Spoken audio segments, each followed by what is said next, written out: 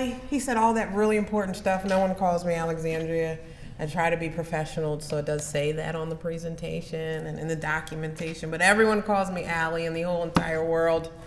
Um, so I am uh, want to first thank you again for being here.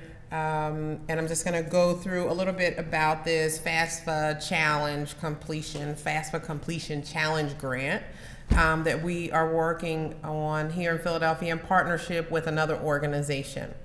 Um, as many of you know who are uh, been looking at this type of work for a long time, FAFSA completion uh, continues to be a barrier for a lot of students, especially in urban environments, um, where there's some challenges about what we've heard is that there's some challenges in reference to how information is perceived once parents and families um, enter information onto a FAFSA.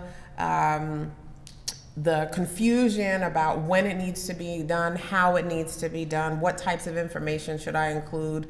Some parents have even expressed uh, feeling suspicious about what the uh, the folks at the FAFSA place are going to do with their information uh, once they receive it. Um, but we also know and are very clear that the FAFSA is a requirement for any student who wants to to, wants to attend an accredited college or university. So because it's a requirement, whatever barriers exist, we hope to try to inform the process a bit more and definitely increase the number of students who are prepared and who are completing their FAFSA.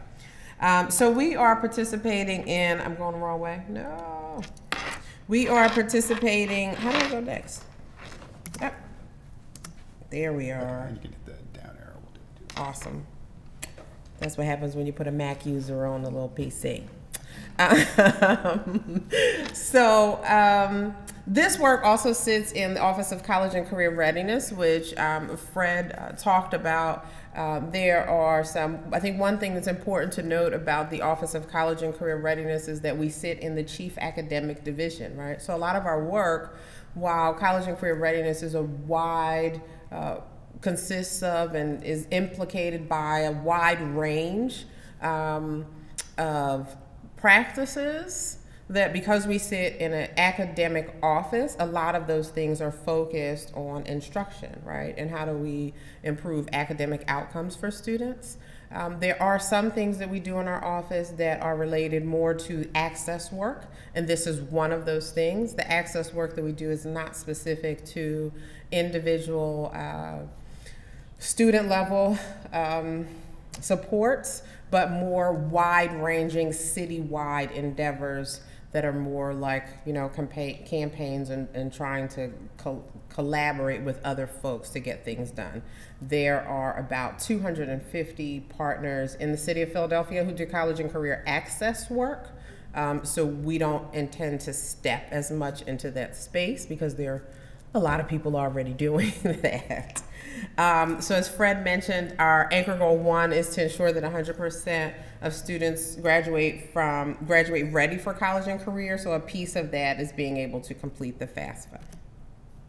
Um, so the FAFSA grant was actually um, awarded to the Philadelphia College Prep Roundtable by an organization called NCAN, which I'm sure many of you have heard of, the National College Access Network. Um, and as I talked about, the goal is to increase the number of students who are clear about what the expectation is, as well as clear about what they need to do to successfully complete their FAFSA.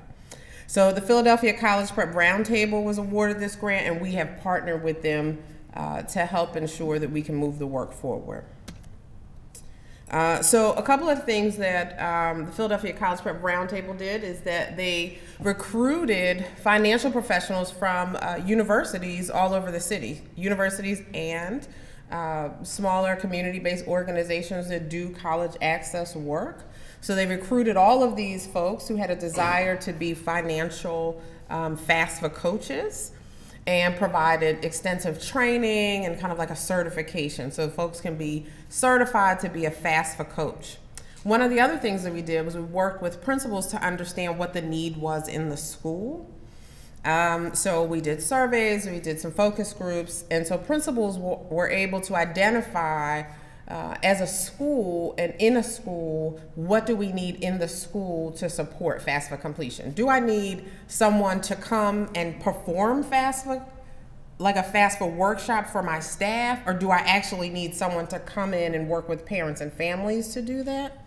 Um, so there are a couple layers and levels of coaching, um, but Philadelphia College Prep Roundtable did coordinate uh, intense training, and we are beginning the stages of deploying those folks into schools based on school need, not based on what we think should happen, but definitely based on school need. Um, so the launch happened October 7th. Uh, the launch rolls out actually in phases. Um, there are 18 schools that have identified a strong need for this, for a level of support that includes uh, the coaching as well as some training that'll happen at the school level for not just counselors but teachers and other school-based staff so that they can support having FAFSA completion meetings at their school. Right, we know that parents and families are more apt to come to places where they are comfortable um, when they need to learn a new skill or something new needs to be learned.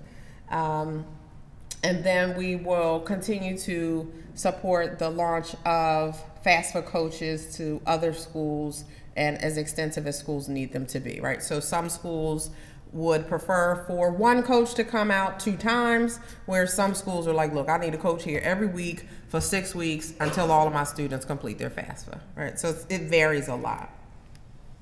Um, so um, in regards to Naviance, some of you may know that um, Naviance is the, uh, the system that we use uh, to support um, college going with all of our students. So they they do career assessments, they do their, it's connected to their senior exit survey, like it's this whole um, system. And we uh, had a desire to make sure that there was a connection between what we were asking students to do in FAFSA um, and Naviance um, so that we could track the information and we could ensure that that information was provided to Department of Education there's some disparities around. I did, I'm not. I don't have any data slides because you'll be really excited about that. Maybe not because you guys like data. um, but there are some disparities about the data that we've received. Like we understood, we learned in this process that uh, PHEAA, who is the state organization that manages the financial aid process, um, had had entered a filter onto how they were reading data that eliminated any student who had turned 18 by October, right? So we know that students do may not go to school right after they graduate. There are students who are uh, may take a half a semester off or may not go until that following year. And there are also students who've turned 18 before March, or you know, some of our students um, are in that age range. So we realized that there were some students that we just weren't seeing because of this filter that PHEAA had added, and then we're able to go back to them and have some conversations about um, what the data needs to look like in order to accurately inform who needs support and what type of support they need. That data, actually the completion data, um, is connected or is imported into Naviance every two weeks so that then counselors can go in and see which students have completed and which processes they've done. Um, so we have a few, a few outreach initiatives. Um, we have some district-wide events. There'll be FAFSA completion workshops at the local college fairs that will be happening here. Um, there are a couple that are here. Both of those are listed. Um, and then also the National College Fair um, in a few weeks at the Convention Center. Um, We've also partnered with an organization called Get Schooled. Um, Get Schooled is an organization who does a lot of work around increasing attendance in schools. So we partner with Get Schooled in a couple ways.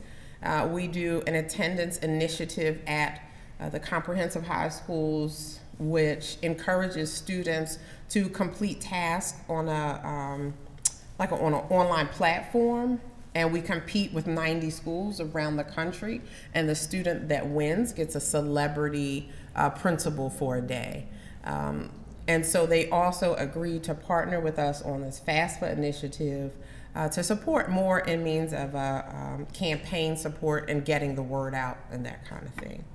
Um, they have this text messaging service which um, is I don't know the word I don't know what I want to call it. It's kind of interactive. So a student, you know, they can a text a student will receive a text message that says, "Have you completed your FAFSA? Yes or no." If they say yes, they'll get one response. If they say no, they would get a different response. Um, and so they're building out the capabilities of that um, that text messaging support and that platform. So we're excited about that. And Philadelphia College Prep Roundtable wants to host a phone-a-thon. Um, we've never done that before, so we'll see how that goes. Um, and so here are the goals of the challenge um, to increase at least by 5% in the year 2017. Uh, the baseline uh, to establish was 53%. The baseline that was established was 53%, and it was actually from the 2015 data because the 2016 data was not available when uh, Philadelphia College Prep Roundtable applied for the, the project. Um, so the baseline was established in 2015, it was 53%. Um, so there is actually a goal of 5% each year, so we're hoping to get to 58% um, after this cycle. And that's it. Bam. All done. I did it.